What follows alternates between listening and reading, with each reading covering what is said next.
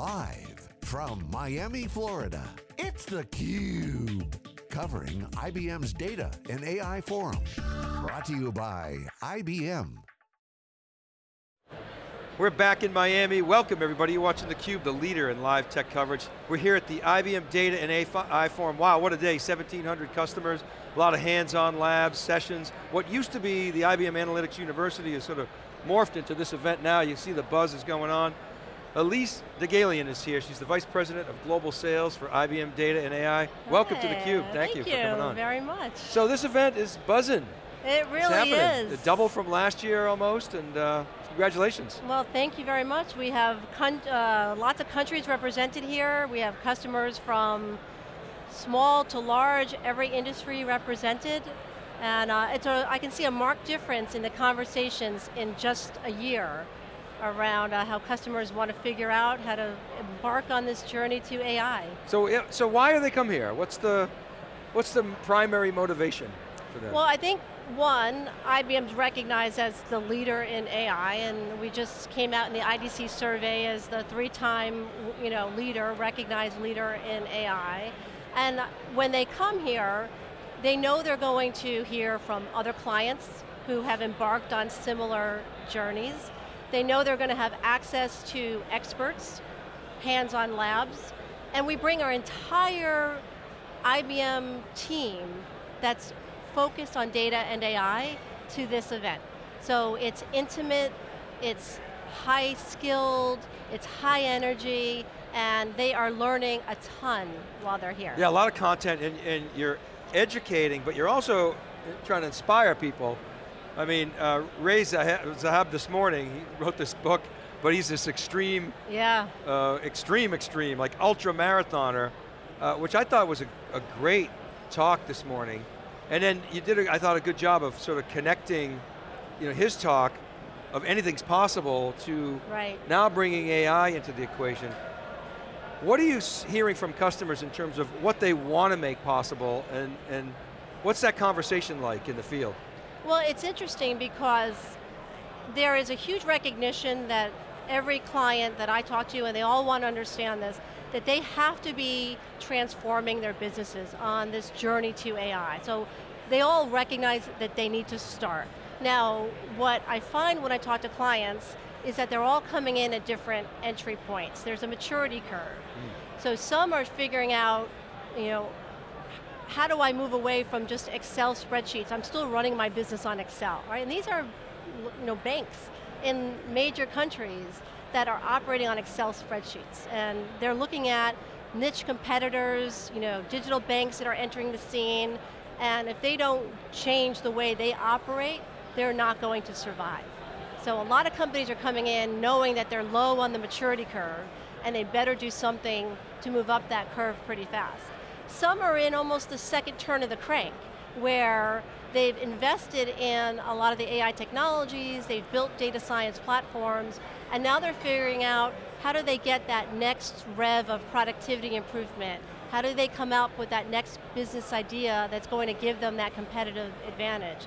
So what I find is every client is embarking on this journey, which is a big difference where I think we were even a year, 18 months ago where they were sort of just, okay, this is interesting. Now they're, I better do something. So, you're a resource, you know, as the head of global sales for this group. So when you talk to customers that are immature, if I hear you right, they're saying, help us get started, mm -hmm. because we're going to fall behind. Uh, we're inefficient right now, we're drowning in spreadsheets. Data, our data quality is not where it needs to be. Help, where do we start? What do you tell them? Well, one, we have a formula that we've proven works with clients. Um, we bring them into our garages where we will do design thinking, architectural workshops, and we figure out a use case. Because what we try not to do with our clients is boil the ocean. We want them to, to have something that they can prove success around very quickly, create that minimal viable product, bring it back to the business so that the business can see, oh, I understand, and then evolve that use case. So we will bring technical specialists, We will bring folks that are our own data scientists to these garage environments, and we will work with them on building out this first use case. Explain the garage a little bit more. Is that those, those are sort of centers of excellence around the world, or how do I tap them as a customer? Is it is it a freebie? Is it for pay? Is it like the data science elite team? How does it all work? Well, it is, there are a number of physical locations and it's open to all clients. We have created these with co-leadership from across the entire IBM company. So our services organization, our cloud and cognitive organization, all play a role in these garages. So we have a formal structure where a team can engage through a request process into the garages. We will help them define the use case they want to bring into the garage. We will bring them in for a period of time and provide the resources and capabilities and skills, and that's not charged to the client. So we're trying to get them started. Now, they'll take that back to their company and then they will look at follow-on opportunities, and those may you know, work out to be different services opportunities as they move forward, but we're on that get started phase yeah, yeah, I mean, you're a for-profit company, so it's, uh, it's great to have a loss leader, but the line outside the door at the garage must be huge for people that want to get in. How, how are you managing the demand? Yeah. Well, we're increasing, obviously, our capacity around the garages, um, and we're still making customers aware of the garages. So mm -hmm. they're still, because it's a commitment on their side, like they just can't come in and kick the tires. We ask them to bring their line of business along with their technical teams into the garages. Because that's where you get the best product coming out of it. When you know you've got something that's going to solve a business problem, but you have to have buy-in from both sides. I want to ask you about the AI ladder. You know, Rob Thomas has been using this construct for a while. It didn't just come out of thin air. I'm sure there was a lot of customer input, a lot of debate about what should be on the ladder. When, when I first heard of the AI ladder, it was, it was data and IA, analytics, ML, and AI, sort of the building, the technical or technology building blocks. Mm -hmm. It's now become verbs, which I love, mm -hmm. which is collect, organize, analyze, and infuse, which is all about operationalizing and, and scaling. How is that resonating with customers, and how do they fit into that methodology or framework? Well, I'll tell you, I use that framework with every single client. And I describe that there is a set of steps, eh, you know, obviously to the ladder, that every customer has to embark upon. And it starts with some very basic principles. And as soon as you start with the very basic principles, every client is like, of course, like it seems so obvious that first and foremost, you have to, data's the foundation right? AI is not created out of you know someone in a back room. It, the foundation to AI is, is information and data. Yet every customer, every customer struggles with that data is coming from multiple systems, multiple sources, that they can't get to the data fast enough, they're shipping data around an organization, it's, it's not managed. And yet they know that in five years, the data they think they need today is going to be completely different in, it could be 12 months, but certainly in the future. So how do you build out an architecture that allows them to build that now, but have the agility to grow as the requirements change? You start with that basic discussion, and they're like, well, of course.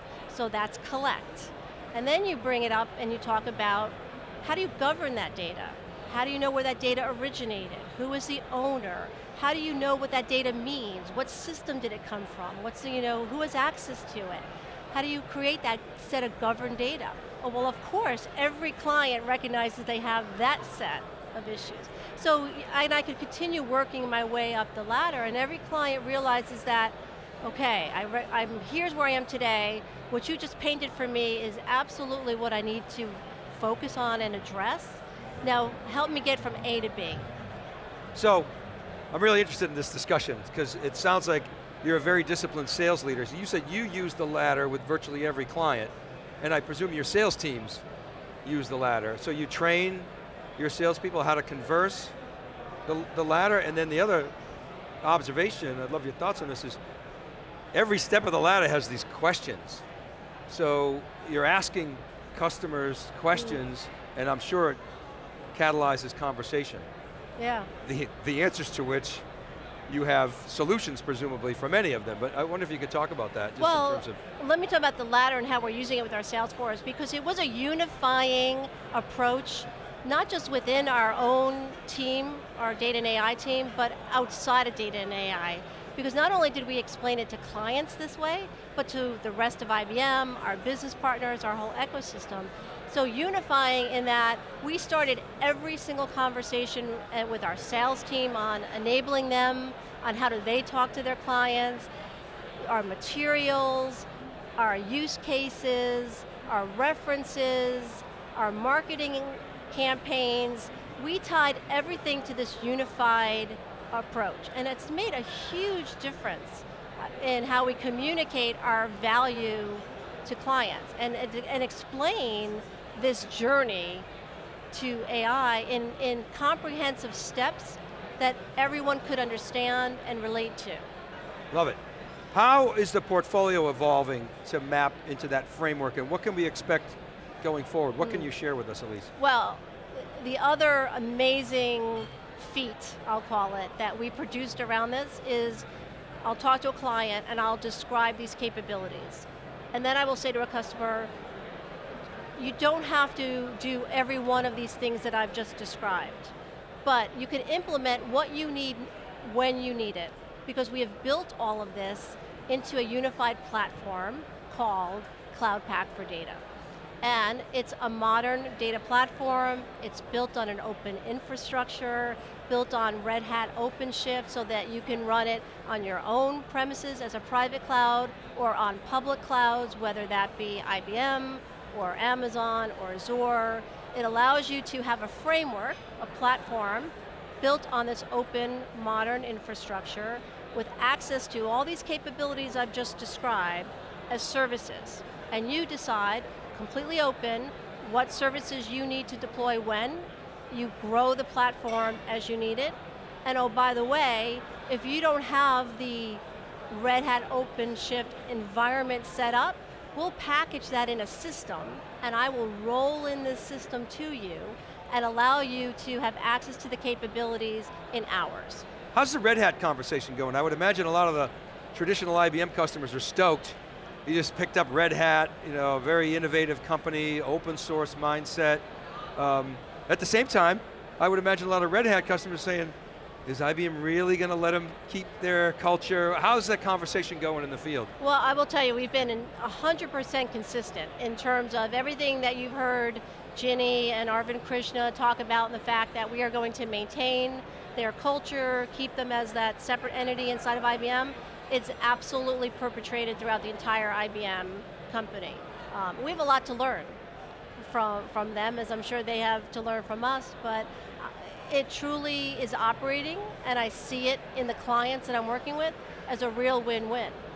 If you had to take one thing away from this event that you want customers to, to remember, what would it be? Start now. Um, because if you don't begin on this journey to AI, you will find yourselves you know, fighting against new competitors, uh, increasing costs, you know, you have to improve productivity. Every client is embarking on this journey to AI. Start now. And when you know you were talking about uh, the maturity model, and and one of those levels was folks that had started already and they wanted to get to the next level. When you go into those clients, do you discern a different sort of attitude? We've started, we're down the path, do they have more of a spring in their step? Are they like chomping at the bit to really go faster and extend their lead relative to the competition? competition? What's the dynamic like in those accounts? That's a great question because I was with a client this afternoon, um, a large manufacturer of, of, uh, of goods, and they are at this turning point where they did kind of phase one. They implemented Cloud Pak for data, and they did it to just join some of their disparate systems. Now, that, I mean, I, I barely got a word in because he was so excited because he's like, now what I'm going to do is I'm going to figure out where my factory should go based on where my products are selling. So he's now looking at how he can change his whole distribution process as a result of getting access to this data and analytics that he never had before. Um, and I was like, okay, well just tell me how I can help you. And, and he was like, that's awesome. You know, way ahead. So this was the big kickoff day. I know yesterday there was sort of deep learning, uh, hands-on stuff, big big keynotes today. We're only here for one day. What, what are we going to miss? What's, what's happening tomorrow? Well, it's a bit of a repeat of today, so we'll have another keynote tomorrow from Beth, Beth Smith, who runs our Watson uh, business for IBM. Yep. We'll have more hands-on labs. We have a lot of customer presentations where they're sharing their best practices. Um, lots of fun. Where do you want to see this event go? And, and what kind of what's next in IBM event land? Well, the feedback from last year, this year, says we have to do this again next year. It's, it's, it will be bigger because I think this year proves that it's already doubled and we'll probably see a similar dynamic. Um, so I fully expect us to be here. Well, maybe not here, we're sort of outgrowing this hotel. uh, but doing this event again next year. AI, machine learning, automation, uh, I'll throw in cloud. These are the hottest topics going. Alyse, thanks very much for coming to theCUBE. It was great thank to have you. you. It's great, great meeting with you. And thank you for watching everybody. That's a wrap from Miami. Go to siliconangle.com, check out all the news. Uh, thecube.net is where you'll find all these videos and follow the, uh, the Twitter handles at theCUBE, at theCUBE365. I'm Dave Vellante, we're out. We'll see you next time.